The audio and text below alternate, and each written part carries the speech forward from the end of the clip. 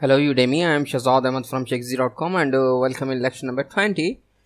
Today's we are going to learn how can you create your CAPTCHA CAPTCHA using CAPTCHA helper. In the last lecture you learned how can you use the cookie and how can you create your cookie and how can you fetch your cookie. So what I need, uh, I just need to cut this and I'm going to create another method so you can easily get this code after some lectures whenever you want to get this. So that's why i'm keeping all of my code inside a helper. So i'm saying cookie helper. Okay. So now what you need before calling any functions of a particular helper you have to load that helpers in your specific method or just go to if you want to load your specific helper globally go to your application config autoload.php and load your helper or libraries. So first of all copy this bad boy. In this time i'm saying this is the captcha. Captcha helper go to your uh,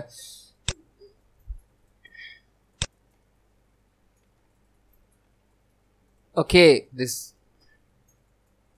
this this is captcha helper. Go to your browser refresh the page make sure we we have a helpers controller. So that's why we are calling the helper controller. Uh, once you loaded your captcha then you have to create an associative array for your captcha. Make sure some some parameters are required for suppose word how many words you want to show inside uh, an image for suppose uh, I'm saying Shakzee Shakzee okay. Pass another. I'm just copying control D. In this time I'm saying image path. Where is the image you want to store I'm saying image URL where you want to get the image. If you have a font just add font path. For suppose if you have a TTF font so you can use this. Okay I don't have any font so that's why I'm skipping this. I'm saying image width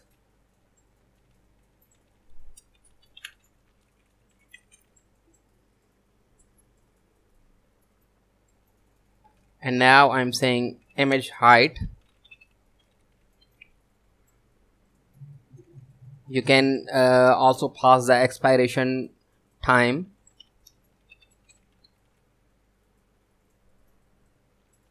And uh, another key is for suppose word length.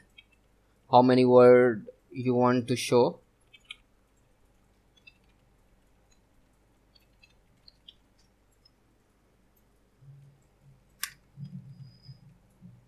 and now what is the font size of your image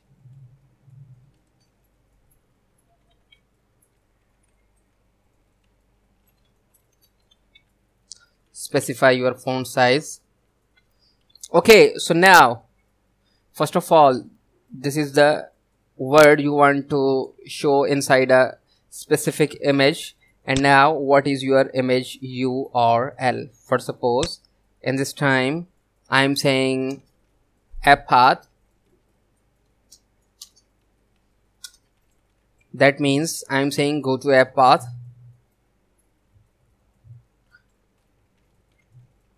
So i'm saying find application folder. Then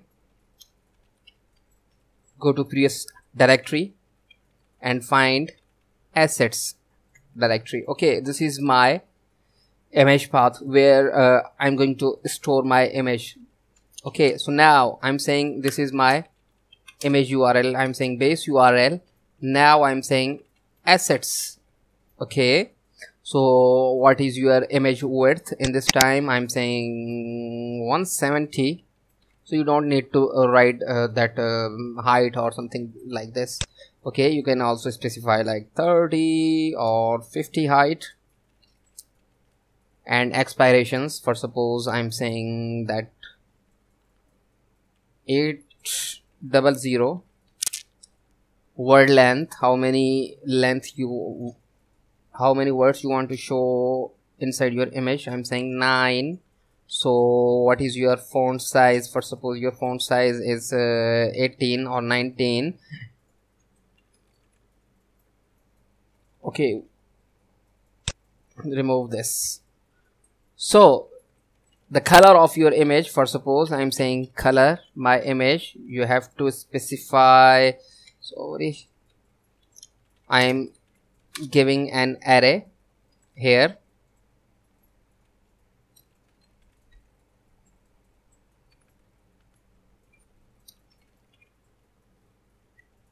I'm saying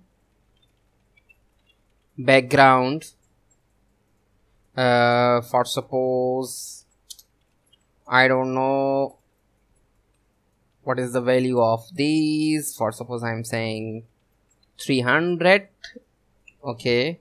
Now I'm saying what is the border color? Make sure. This is the key. That's why you have to enclose in single parenthesis I'm saying array. Uh, also I'm saying 255 255 255 okay. So what about your text? Uh, I'm saying in this time. So text is for suppose 0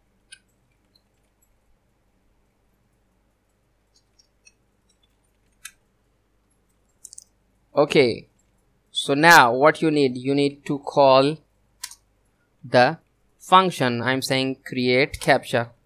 So you have to pass your array which you have just created. Before passing i'm going to store this array inside of variables my array for suppose. And now i have to pass this inside a function okay so it will return you some data. So I am going to store this for suppose my result. And I'm going to var dump var dump this data. So I have this directory. I'm going to delete all of my images here okay. So what you need you need to add semicolon. Go to your page you refresh the page. You can see you have just created a captcha and uh, you can see you have your Shakzee word. Okay you have just created this image. Okay I'm going to delete this image. And now I'm going to pass some random string. So before using uh, random string I have to load the string helper which we have just learned. Okay now I'm saying random string. So this is random string. It takes two parameters. First of all uh, your algorithm then your length. I'm saying oh my length is 9 and now I'm saying just add alpha. Numeric I think or alpha. Go to your page refresh the page. You can see now you are just adding the random string which is alpha numeric. You can see htx and i'm saying in this time i'm saying the length is 4 it's totally depend upon you. Now you can see uh, we have four words w h f j. And you can see we have four words w h f j. This is the image and this is the file name 1555.jpg so you can see 155.jpg image. So in this way you can create your uh, captcha and you can use your captcha helper. So we have uh, already covered many helpers. So go to your CodeIgniter guide helpers. We have covered array captcha cookie helper. Today it is not required. Directory is not required. We have covered download. Email helper is not required and uh, we have covered also form helper we have covered html helper and i think i have covered inflector helper. We have covered numeric helper security helper string text helper typography i think we have covered uh, and of course url helper. So we have almost covered uh, all the necessary or required helper for this series. In the next lecture we are going to cover the database references so you can easily understand how can you use the uh, orm object relational mapping or in simple words the query builder using CodeIgniter. So thank you for watching